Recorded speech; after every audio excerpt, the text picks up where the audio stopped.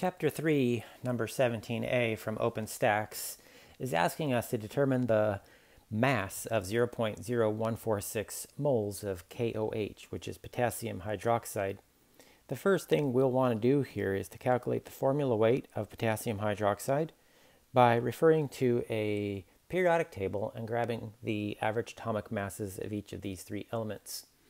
So potassium is 39.0 98. Oxygen is 15.999 and hydrogen is 1.008. And these numbers are coming from ptable.com.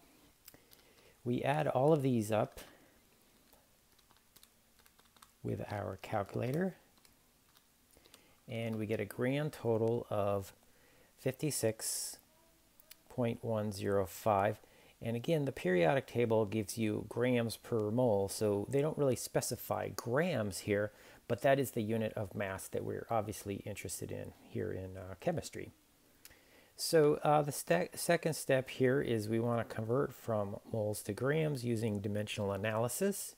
So we have 0.0146 moles of KOH, and we multiply by the um, molar mass or the formula weight here. And you'll notice how the grams is on top and the moles is on bottom, so it cancels. And so on our calculator here, we would punch in 56.105 times 0.0146. And we would want to round this to three significant figures, 0.819 grams of KOH.